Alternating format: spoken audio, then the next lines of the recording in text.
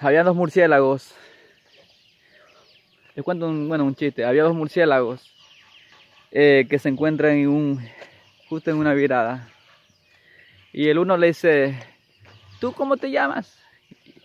Y le dice, el otro le responde, Otto. ah, Otto te llamas. ¿Y tú cómo te llamas? Le dice el otro murciélago. Yo también me llamo Otto, pero Otto Muchelaguito. bueno, hay otra y otra ya. Había dos murciélagos que se encuentran, ¿sí? se encuentran así.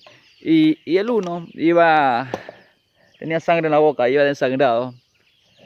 Toda la trompa llena de sangre del murciélago. Y, uno le dice, oye, ¿y qué te pasó? ¿Dónde, ¿Dónde hay sangre?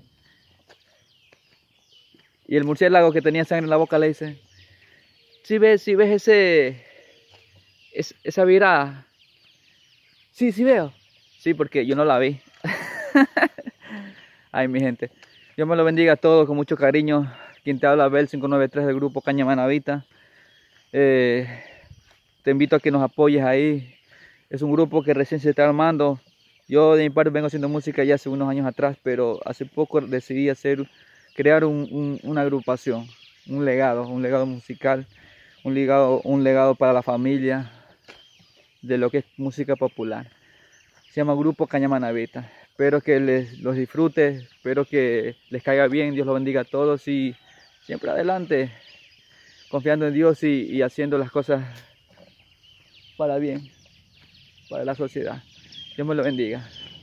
Chao, chao. Gracias por todo. Bye bye.